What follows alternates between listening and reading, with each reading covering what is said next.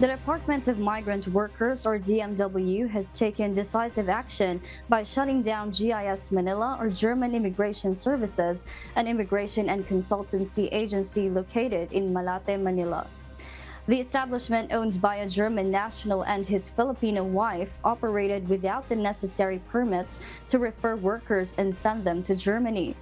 While GIS Manila possessed permits from the local government and accreditation as a consultancy, it lacked the essential author- authorization for the recruitment and deployment of workers to Germany.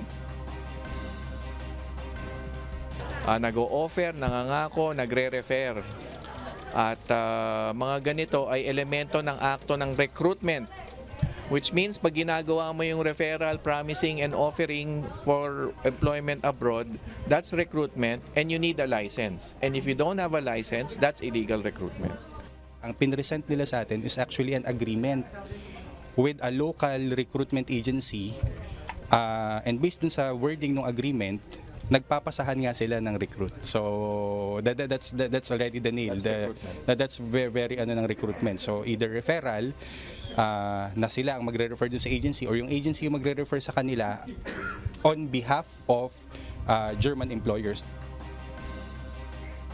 The DMW's intervention follows three complaints against the agency, with one complainant alleging a payment of over 200,000 pesos but never being sent to Germany for work.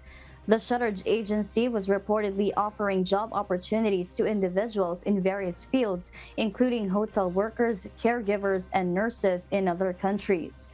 This marks the 14th establishment to be closed down by the Department of Migrant Workers since its establishment in 2022. So talagang hindi natin gusto yung yung ah, lumilihis, yung gumagawa ng illegal activity. So we want to stop this and definitely for 2024 pangako natin sa taong bayan, pangako natin sa administrasyon ni President Marcos na pipigilin natin ang illegal recruitment.